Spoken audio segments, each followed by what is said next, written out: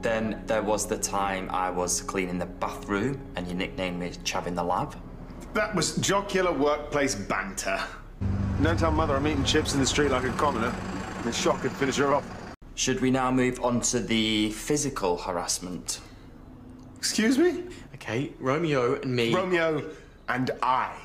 I know you don't have a degree in your future, but can we at least stick to basic grammar? You paid off Cindy to take the blame for what you did. What? What? What? That is true. Chopple, you are aware this is my home. You live in a rather ugly pub with a tedious Scotsman. I really missed this, you know. I have started anger management therapy. Really? Yes, really. Believe it or not, I was doing it for you. Thank you. See, we could even team up as a duo. Only if you wanted to. Nah, that'd be cool. Excellent. Maybe we can even come up with a team name. You're going too far now. Well, at least you won't have to put up with Hilton's eating habits for much longer when we get our home back. That was weird. I have to warn you, I have a strict music policy, so I'll be vetting all your CDs. CDs. Showing your age there, Nightingale. well, I had no idea he was your father. He's better in the sack than you anyway. Say hello to Mr. Camera. And goodbye to our credibility. I couldn't think of anything worse than watching you drink your teeny tiny coffee in your teeny tiny dressing gown. It's a smoking jacket. Do you know something? I've always liked you. Okay, I'm absolutely buzzing right now. I'm just going to pretend that's true. You trying to give me a heart attack? Well, this calls for a celebration. Uh, you should take Verity somewhere nice, and I will buy myself a hideously expensive bottle of Merlot to enjoy with the finest company myself. It's not my fault you're hot. Stop flirting. How can I resist? Try. I need your help. Romeo's been arrested for beating up Sammy. Give the boy a knighthood. We're having a pizza night. A what? That's a new thing. We uh, eat a slice, then we talk about our feelings. no, we don't. Fine, we uh, have a slice, grunt at each other while we stare at our phones. Deal. Can I lend a doorman? Borrow. I just sort of might have told her that you call me a cripple.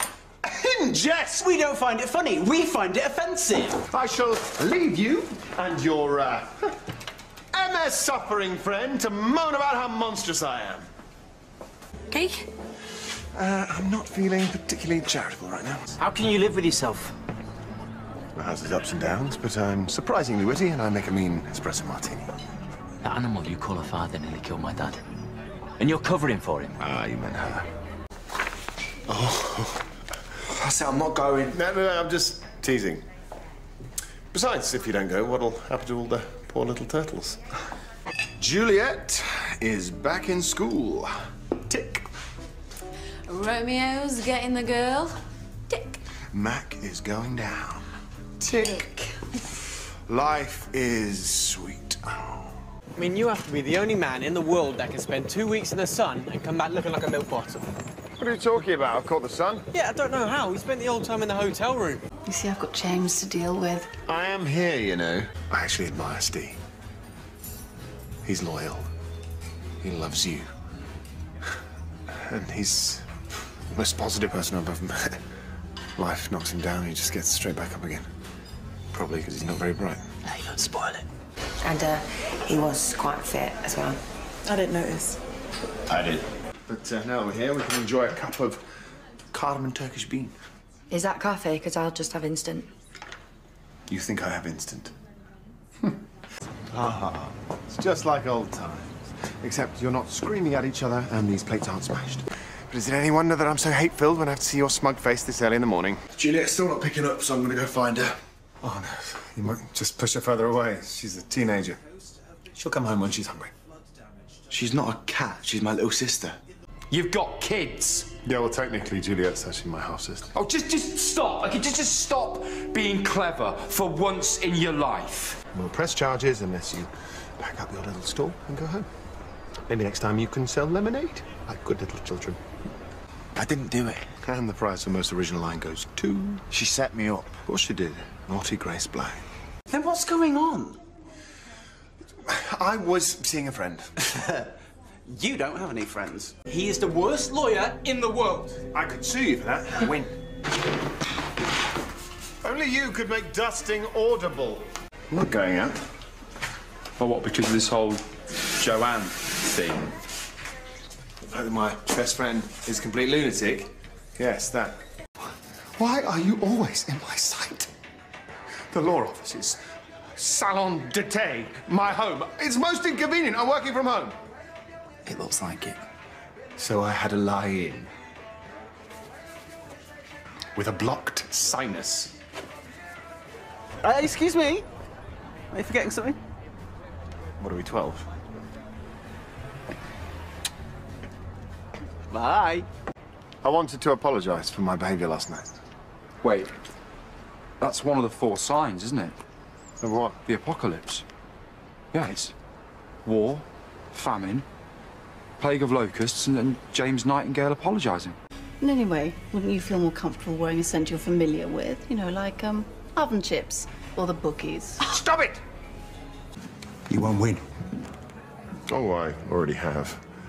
I suggest you two start looking for a cardboard box. I hate you. Could you be a little less teenager about all this? Just shut up. But you and I are two very different people. Hmm. it would never work. I'm a high profile lawyer, and you, well, you're a domestic. Will you just shut your mouth? Nathan's on to me. He doesn't think you're here to see your children. It's almost as if he knows you. I was just dropping off some mock exam papers and textbooks for Juliet. Yeah. I'm sure the university office will come flooding in when they see drug dealer under her extracurricular activities. She'll have come to see how you are. She'll probably be stood there with a basket of mini muffins, a concerned look, a sympathetic ear. see! What a surprise! And flowers! How thoughtful. He had wanted mini muffins, but uh, no. I need you to be my boyfriend. Pretend, obviously. That seedy get James Nightingale slept with Ollie last night. And I wouldn't be surprised if he offered him money. Well, it's a good job I'm here to defend myself. Allow me to extend my sincere apologies for the altercation we had. Ellie, I did an awful thing. Do not speak about my mother like that. And I don't know what I could do to make it up to you. I take full responsibility. My behavior was reprehensible. Can you forgive me?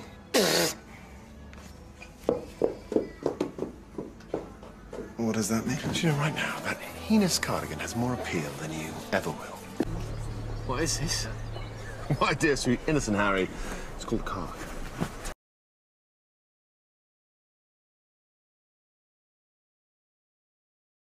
You best clean that up. Oh, look. You're now in here. How wonderful. Are you having a bad hair day or your devil horn's starting to grow through? Oh, okay, okay. Right. Now, Pizza! The thing that fixes everything. You watch too much television. Is that where you're getting this nonsense? objection. We don't even say that. Aha! PC Kiss. You know, when you say it out loud, that really does sound ridiculous. Be careful, Nightingale.